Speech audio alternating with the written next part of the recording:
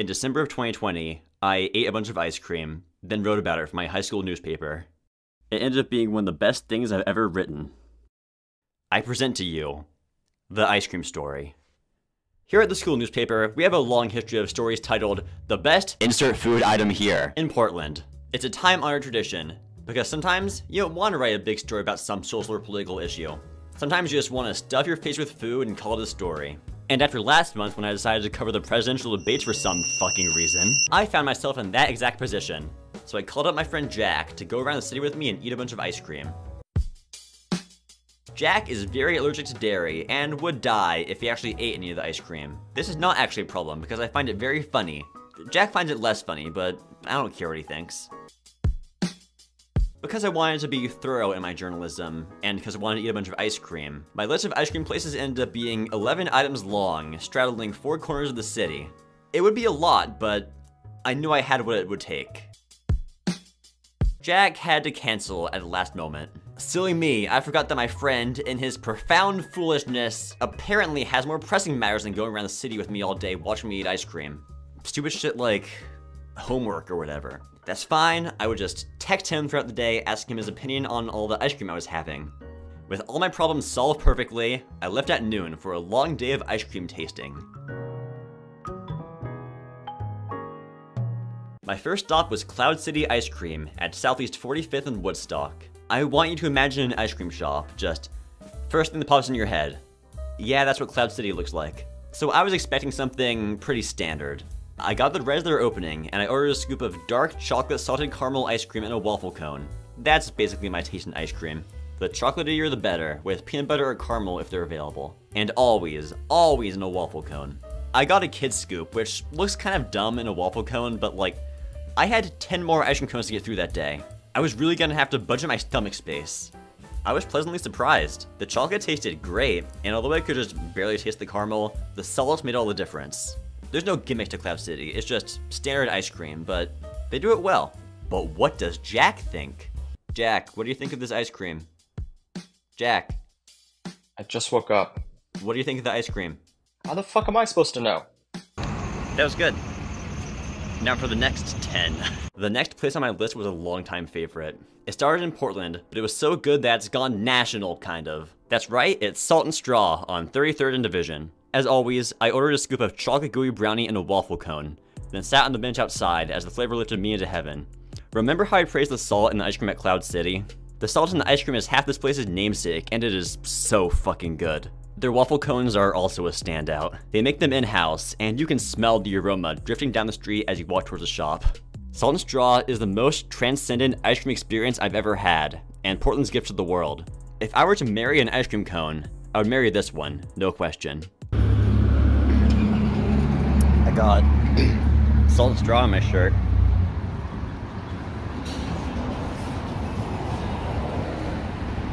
Good. Saving it for later. Now, what do you think of this ice cream? Looks ugly.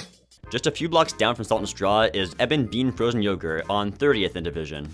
But Henry, frozen yogurt is an ice cream. Shut up! Yes, it is!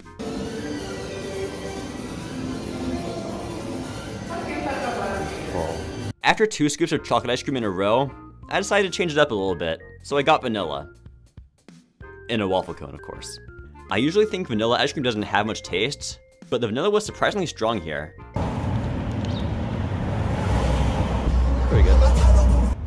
The waffle cone doesn't taste like a waffle cone. No. It's like a cookie. It's like a sugar cookie. It's not bad. It's not a waffle cone. If you're in the mood for some frozen yogurt, Eb & Bean is solid. But I would personally just walk 5 minutes to Salt and Straw. If you want a second opinion, it started raining while I was eating it, so Eb & Bean is Mother Nature's least favorite on this list. What do you think of this one? Looks worse. Your feedback is appreciated. I kept eating on my way to the next place. And that's when it really started to set in that maybe eating three ice cream cones in the span of an hour and a half might be a bad idea. I like ice cream and all, but I was struggling to get that froyo down my gullet. But as the determined journalist I was, I persisted. By the time I got to 50 licks, East 28th and Burnside, the rain was pouring down. You're just gonna have to imagine. Unpleasant? Sure. Logistically challenging for eating ice cream? Sure. Was it gonna stop me on my quest? Never. I ordered a scoop of chocolate AF, which I'm pretty sure I remember being called chocolate as at one point, which was a better name, but probably harder to order. They gave it to me with the cone face down in a bowl, which was odd. What do you think of this one? That's just how they gave it to me. Okay, that's just sad. Tell that story that managed to make a depressed kid even more depressed. I tasted it, and so normally my mentality is the more chocolate the better, but this just tastes like I'm licking dark chocolate. It was called chocolate as so I probably should have expected this. This is too much chocolate.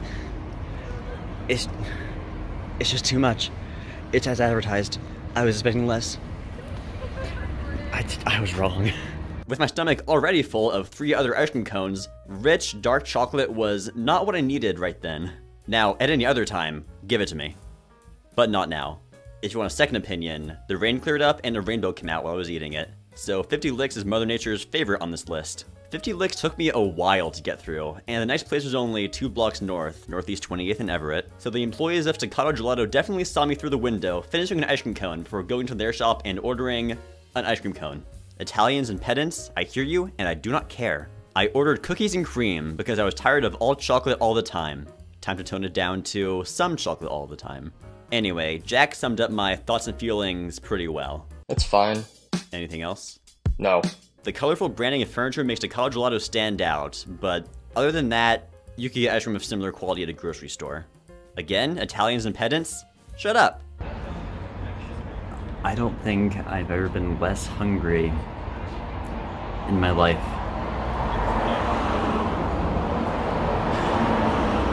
Five, six more to go. My stomach was full and my will to keep going was diminishing, but fortunately, the rest of the list was across the river in the city center, so I had ample time to digest. Okay, ample is an exaggeration. I had a solid 30 minutes to start converting cream and chocolate into body fat and excrement. It really did help, but before long, I was at my next destination, Ruby Jewel, on Southwest 12th and Washington. Okay, so in the three and a half years since I wrote the story, Ruby Jewel closed down its only brick and mortar store.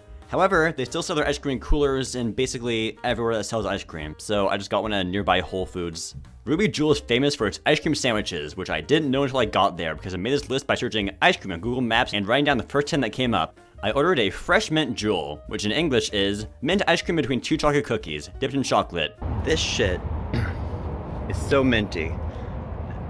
In a good way. It's not like chocolate ass where it's like overdoing it. This is very minty, but it's good. It's like if toothpaste was an ice cream sandwich. That sounds not flattering, but trust me, it's good. Honestly, Ruby Jewel isn't really a fair comparison to other places on this list, since it's an ice cream sandwich shop, which is a markedly different experience from an ice cream cone. Unlike gelato and frozen yogurt, which are ice cream that wants to feel special, yes, I will die on this hill, but still, Jewel tastes great, and it gets a solid recommendation from me. I don't know if it gets a solid recommendation from Jack, considering he was too busy doing schoolwork or whatever to respond to my DM. What do you think of this? Answer me. Jack. Too late, Mr. Chance. Next was 22 Below, on Southwest 18th and Jefferson. It's a bit hard to see from the street, and Google Maps kept leading me to the United Methodist Church down the road. The sun started to set, and I was about to go up and review the church instead. But luckily, I was able to find the... Yeah, it turns out in the time between writing the original story and filming this recreation, they moved to a spot that was easier to find, so... It's a pretty good church. Big, made of bricks. Don't know how the worshiping is. Don't much experience there. Ask a priest. It's a pretty good church. Anyway, at the new location, Southwest 19th and Alder, there were a bunch of weird flavors, including stuff like green tea, passion fruit, and lavender. But I got PB Twist, which was peanut butter, chocolate, and salted caramel because I'm boring. It turns out they sell rolled ice cream, which I hadn't previously heard of. Apparently, it's a Thai thing. Basically, the guy puts the ingredients in a cold pan, does a bunch of magic with two scrapes, and suddenly you're handed a few bits of ice cream in the shape of rolls. It was mesmerizing and a bit confusing, but oh my god, this was some of the best ice cream I'd ever tasted. I'm guessing it's because the ice cream was just freshly made right in front of me, but it tasted so vibrant, and I was so amazed, and I can't believe I'm saying this, but it was better than Salt and Straw. I know I've already pledged to marry Salt and Straw, but if I were to have an extramarital affair with a bowl of ice cream, it would be this one. This is ice cream. Discuss. Actually looks kind of cool. Back at Staccato Gelato and 50 licks. I honestly didn't know if I could do this. I thought there was a pretty good chance I'd have to give up. Now, I know I've got to finish this. Hey, look who it is. It's my good friend Ron. How's it going, Ron? Looks like it's not going super well. Looks like you're kind of severely injured right now. Next on my list was, oh, look who it is. I know what you're thinking. Haven't you already been to Salt and Straw? Yes, yes I have. But it had another location on my path, 23rd and Kearney. And as I previously stated, Salt and Straw is amazing. The second best ice cream I've ever had. And my ice cream fiance. I got salted caramel this time, and a waffle cone, of course. My tongue met salt and straw for the first time in a very long five hours, and it was just as good as I remembered it being. No, better. While chocolate gooey brownie is my favorite, any of the flavors are good enough to remind me that salt and straw will always be my one true ice cream love. Please nobody tell about 22 below. This one. What do you think? Looks pretty good. Alotto Gelato on 23rd and Lovejoy was closed. 0 out of 10. The sun was fully set at this point, and on my way to Miss Oz Ice Cream and Dessert on Northwest 11th and Johnson, I understood the end was in sight. After six long and difficult hours of leisurely walking around the city and eating ice cream, there were only two places left. At Miss Oz, I ordered mint chip and a waffle cone. And boy am I glad I chose this one first, because it would be an incredibly anticlimactic one to end on. It's alright. It's fine. It's okay. I've had better. I've had worse. It's perfectly passable ice cream. What is your opinion?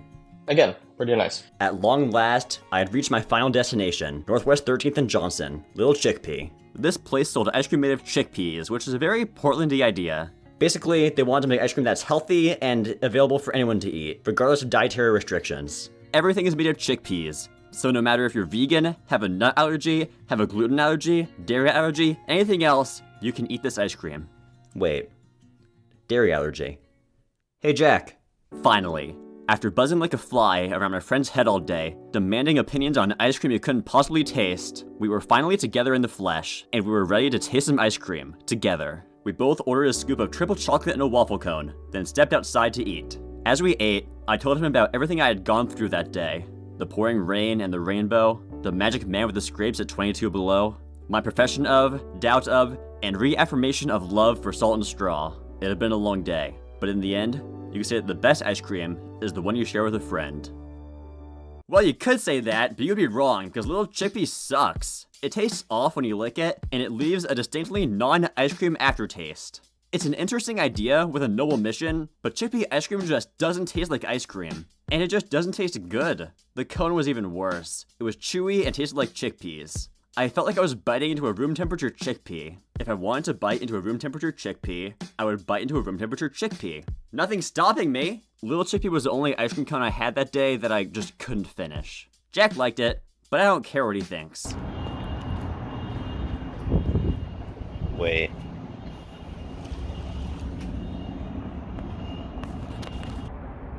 They closed down. Get fucked, Jack.